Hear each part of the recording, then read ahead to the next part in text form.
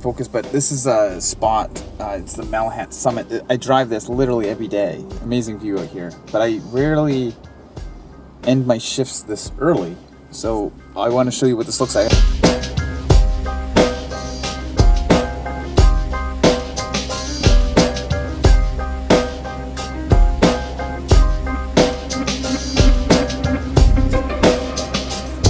This is just a little bit further down the road. Uh, it's kind of the other side. This is uh, looking at towards Sidney and kind of towards the ferry and then a little bit of Vancouver and stuff, I believe. And then I think it's Mount Baker, and you can really see it right now, which is, uh, I believe, it's in the States, in Washington State. I, I think so. I'm 100%, but I think that's what it is.